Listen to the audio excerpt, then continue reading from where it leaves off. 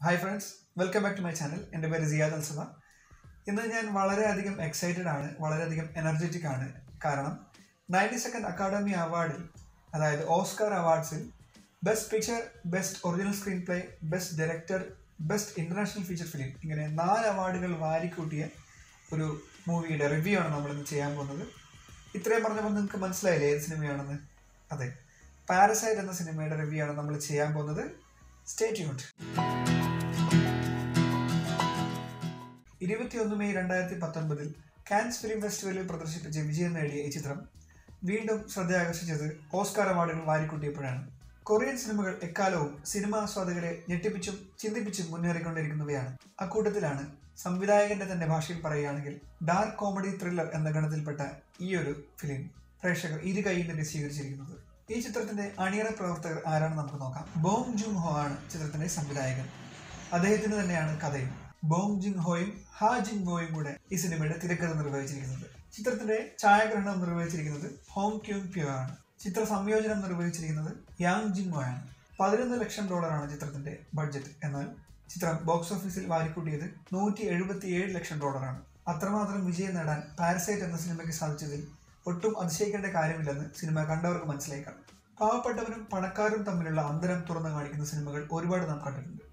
എന്നാൽ അതിൽ നിന്ന് വ്യത്യസ്തമായ ആവിഷ്കാര രീതിയിലൂടെ കഥ പറഞ്ഞപ്പോൾ പിറന്നത് പാരസൈറ്റ് എന്ന ഈ സിനിമയാണ്.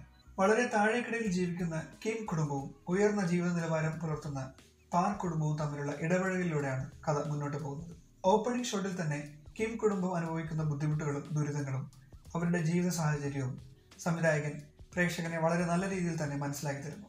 ഒപ്പം സിനിമാറ്റോഗ്രഫി അതിനെ മികച്ചതാക്കുന്നു. അച്ഛനും അമ്മയും രണ്ട് മുതിർന്ന കുട്ടികളും അടങ്ങുന്ന കിം കുടുംബം താമസിക്കുന്നത് സെമി ബേസ്മെന്റ് അപ്പാർട്ട്മെന്റിലാണ് സ്ഥിരമായ ഒരു ജോലി ഇല്ലാത്ത കിം കുടുംബത്തിലെ അച്ഛൻ വളരെ ബുദ്ധിമുട്ടിയാണ് ജീവിതം മുന്നോട്ട് കൊണ്ടുപോകുന്നത്. എന്നിരുന്നാലും ഈ ബുദ്ധിമുട്ടുകൾക്കിടയിലും അവർ സന്തോഷം കണ്ടെത്തുന്നത് സംവിധായകൻ നമുക്ക് കാണിച്ചു തരുന്നുണ്ട്.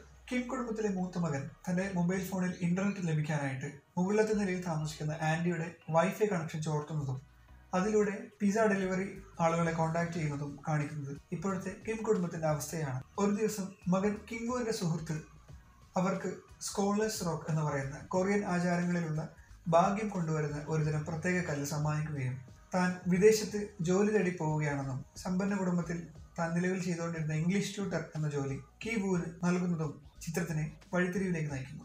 തികച്ചും ഫാമിലി മൂവിയായി തുടങ്ങിയിട്ട് ക്ലൈമാക്സിലേക്ക് നീങ്ങിക്കൊണ്ടിരിക്കുമ്പോൾ ത്രില്ലർ ലെവലിന്റെ പരമമായ നിലയിലേക്ക് പ്രേക്ഷകനെ കൊണ്ടുപോകാൻ കഥയും കഥാപാത്രവും വഹിക്കുന്ന പങ്ക് ചെറുതല്ല. ദരിദ്രനും പണക്കാരനും പ്രത്യേക ഗന്ധം വരെ നിലനിൽക്കുന്നുണ്ട് എന്ന് സംവിധായകൻ കാണിക്കുന്നുണ്ട് ചില ഷോട്ടുകളിൽ. ദരിദ്രനായ കിങ് കുടുംബം താമസിക്കുന്നത് സെമി ബേസ്മെന്റ് അപ്പാർട്ട്മെന്റിലും ധനികനായ പാർക്കർ കുടുംബം താമസിക്കുന്നത് ഒരുപാട് പടവുകളുള്ള ഉയർന്ന ഒരു മാളികയിലും. അതോടൊപ്പം ഓപ്പണിംഗ് ഷോട്ടിൽ തന്നെ കഥ കൊണ്ടുപോയി അവസാനിപ്പിക്കുന്ന ഡയറക്ടർ ബ്രില്യൻസും എടുത്തു പറയേണ്ടവയാണ്. ഒരു വേള കിം കുടുംബത്തിനോടൊപ്പം നിൽക്കണോ അതോ പാർ കുടുംബത്തിനോടൊപ്പം നിൽക്കണോ എന്ന് പ്രേക്ഷകനെ കൺഫ്യൂഷനാക്കുന്ന സ്ക്രിപ്റ്റിംഗ് വളരെ മികച്ച രീതിയിൽ തന്നെ അവതരിപ്പിച്ചിട്ടുണ്ട്. കഥയുടെ മനോഹാരിത ഇനിയും വർണിച്ചു കഴിഞ്ഞാൽ അത് സ്പോയിലേഴ്സായി മാറും എന്നുള്ളതുകൊണ്ട് മാത്രം സിനിമ ഇനിയും കാണാൻ ആഗ്രഹിക്കുന്നവർ കാണാത്തവർ ഉണ്ടെങ്കിൽ അവർക്കൊരു ബുദ്ധിമുട്ട് വരാതിരിക്കാൻ വേണ്ടി മാത്രം കഥയുടെ ആഴത്തിലേക്ക് ഇനിയും നീണ്ടുപോകുന്നില്ല എന്റെ വ്യക്തിപരമായ റേറ്റിംഗിൽ four point five out of five നൽകാൻ ആഗ്രഹിക്കുന്ന പാരസൈറ്റ് എന്ന ചിത്രത്തിന് I M D B rating നൽകിയിരിക്കുന്നത് eight point six out of ten ആണ്. ഇനിയും ഈ സിനിമ കാണാത്തവരുണ്ടെങ്കിൽ അവർക്കായി ഒരു അവസരം കൂടി അതായത് തിയേറ്ററുകൾ വന്നു പോയി കഴിഞ്ഞ സിനിമയാണെങ്കിൽ കൂടി ഇപ്പോൾ നമുക്ക് ടെലഗ്രാം അതുപോലുള്ള ഒരുപാട് ആപ്പുകളിൽ ഈ സിനിമ ഇപ്പോഴും ലഭ്യമാണ്. അപ്പോൾ അവർക്ക് വേണ്ടി മാത്രം ടെലഗ്രാം ആപ്പിന്റെ ഈ സിനിമയുടെ ഒരു ലിങ്ക് ഞാൻ താഴെ ഡിസ്ക്രിപ്ഷനിൽ കൊടുക്കുന്നുണ്ട്. കാണാത്തവരുണ്ടെങ്കിൽ ഇപ്പോൾ തന്നെ അത് കാണുക. കണ്ടിട്ട് നിങ്ങളുടെ അഭിപ്രായം ഈ വീഡിയോയുടെ താഴെ കമന്റ് ചെയ്യുക. ഈ ചാനൽ ഇനിയും സബ്സ്ക്രൈബ് ചെയ്തിട്ടില്ലെങ്കിൽ ഇപ്പോൾ തന്നെ സബ്സ്ക്രൈബ് ചെയ്യുക എന്നിട്ട് തൊട്ടടുത്തുള്ള നോട്ടിഫിക്കേഷൻ ഐക്കൺ ഓൺ ആക്കി ഇടുക.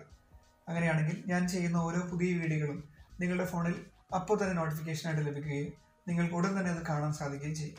ഈ വീഡിയോ ഇഷ്ടപ്പെട്ടാൽ ലൈക്ക് ചെയ്യാൻ മറക്കരുത്. മറ്റൊരു നല്ലൊരു വീഡിയോയുമായി വീണ്ടും കാണുന്നതുവരെ take care bye from Siyad